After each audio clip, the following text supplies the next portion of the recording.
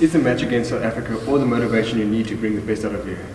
Yeah, definitely. I think um, you know we've we've got a couple older boys in, in here that that have spoken about the the games they've had and.